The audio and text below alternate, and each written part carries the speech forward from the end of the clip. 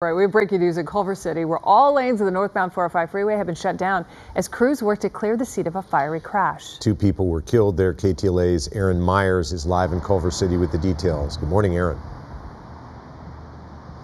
Good morning to you both. I just spoke to the CHP about 10 minutes ago, and they say they are working on getting this back open. They said they had extended the SIG alert by about an hour, so hopefully by 7 o'clock this morning, the road should be back open. But you can see here behind me an empty northbound 405, the crash happening here uh, around 2 o'clock, a little after 2 o'clock this morning. But we'll go ahead and get into some video from earlier this morning when firefighters were working on putting out a fire after two vehicles collided and then caught on fire.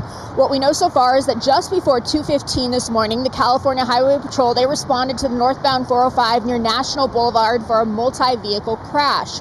When they arrived, they found that two vehicles had collided. We are hearing one, possibly a Prius, burst into flames. The fire then spread to the other vehicle as well. Now, the Los Angeles City Fire Department responded. They put out that fire, but we are told two people were killed, believed to be a man and a woman. Now, the CHP did issue a SIG alert shortly after the crash, which has lasted now for several hours.